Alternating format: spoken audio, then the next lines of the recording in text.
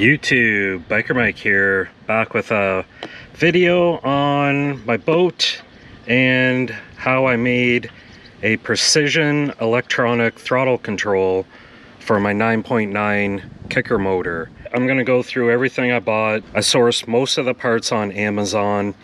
Here you can see I got a waterproof digital servo, 35 kilograms of force, which is plenty to do this. And the main thing you're going to need if you want to make your own and the reason I made my own was it was just an experiment and I wanted to save a bit of money. Um, there are uh, manufacturers out there that make these kits complete but they're pretty pricey and I just wanted some basic function for mine. The ones you buy have a lot more function. Mine's just precision throttle control and that's it. There's no fluctuation of it unless you manually adjust the throttle yourself at the helm and I'll show you how you do all that in a minute here. The first thing I purchased was Troll Masters hardware kit for their throttle control and that is the exact kit for this 9.9 uh, EFI Mercury Pro Kicker that I have on my boat. So once I had the hardware kit it came with all the brackets to mount everything and the linkage over here that you put on. So I did all that, but I didn't want to spend the whole amount of money on their system. But like I said, their system has a little bit more functionality and mine's more of a basic system, but that's all I was looking for. So what I did was I purchased one of these servos on Amazon. It's a waterproof one, it's digital, and it's brushless. So that was relatively inexpensive. Then I bought a bunch of servo wire. So it's just three wire. So it's got your positive and negative and then the control wire. And I bought some extra connections because I needed those further up the line. So I just ran this three wire all the way through, did a nice neat job all the way through the loom up into the boat. And up here, I put my power source in because these servos run on 6 volts and not 12. And I needed something to reduce the 12 volts from the battery to the 6 volts for this system. I bought one of these on Amazon to convert the 12 volt to 6 volt to run the uh, control system for that servo. So you can see the servo wire there. I ran it back up here to a fuse to the power block there and the ground obviously. So that's all pretty simple straightforward basic electronic circuitry. And then up here at the helm to control the throttle I bought one of these servo motor testers. Now it has three different modes and this is important to know. It has three different modes but the mode you need is the default setting mode. So when you turn it on, it's set at default and all you need to do to adjust the throttle is just turn the little dial there and you can increase the throttle setting of the kicker motor.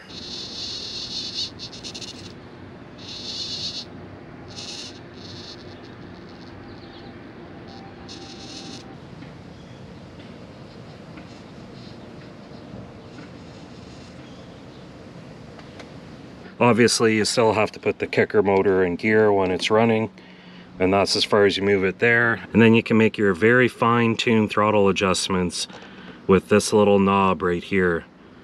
Now these controllers are, well, it's actually a servo tester. These servo testers are very cheap. So I actually bought two to keep one for a spare. And then the top connection is for your positive and negative 6 volt now for this top connection here, that's the actual power, the 6 volt power supply. What I did is I hit a little switch down underneath the dash here so I can turn it off and on just like that. And you just want to put that switch in, the hot wire coming from that 6 volt power supply. You can also put another fuse in there from that power supply too if you wanted to. So basically you can see how I did that. I just ran this the wire all through the boat. So once again, the top connection is for the 6 volt power supply that I showed you at the battery and then the other connection goes all the way back to the kicker motor. So you need to get a bunch of bulk servo wire and I'll leave a link in the description of where I got all these parts and they're really cheap. Like I said, this was just an experiment I wanted to try. I wasn't sure if it was gonna work, but it works really good. And when you set your throttle control, it doesn't move. It holds the servo exactly right where it is. So once you set your throttle setting, it's not gonna vibrate loose or vibrate off and slow down like it would if you're using the handle. And it's really tricky to get those precise speeds dialed in with this handle, but it's really easy with this. Now, like I said, there are pre-manufactured throttle control kits out there on the market and they have more functionality than mine. But like I said, I just wanted to save some money and it was an experiment and it turned out that it worked great for the amount of money I have invested in it. The other thing these servo testers have is a pulse width for the servo. I'm not really 100% sure, but based on all the research I did, it needs to be set on the 250 for that servo that I bought. So but it'll still work on the other pulse width modes but I think the best setting is at 250 and then you just turn the, the knob and your throttle will increase and then you can just leave it there so I mounted this down in this little storage compartment here to keep it out of the elements because I'm positive that this isn't waterproof so just have to be careful where you mount it and like I said you can buy spares for really cheap. Uh, I've got a spare in the glove box and it was only like $15 for this controller. So that pretty much wraps it up with how I did this installation, this experiment that I'm really happy with how it turned out. And if you guys do a lot of trolling, you know how important it is to get your trolling speed dialed in and hold it there too. So this worked great. It was really inexpensive. All the links for all these products will be linked down in the description. And if you purchase them, that really helps out the channel. I get a small commission off each little item I sell on Amazon. So hopefully this gives other people out there an idea what they can do. Maybe you want to try this.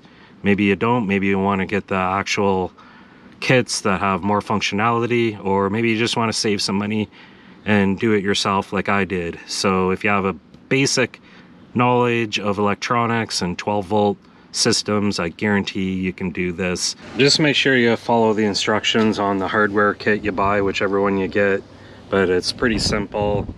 You can see how I routed the cable up here, looped it down in there and around up into the servo. Make sure you don't kink that and it's pretty straightforward guys like it's not that hard to install so there you go guys a quick little video on how I did my own precision digital throttle control for my 9.9 .9 kicker motor on my fishing boat so hopefully you like that video if you like the video like the video don't forget to subscribe I'll probably have more content coming out on my boat and how everything works on it. So if you want to subscribe, go ahead and hit that subscribe button. Biker Mike out.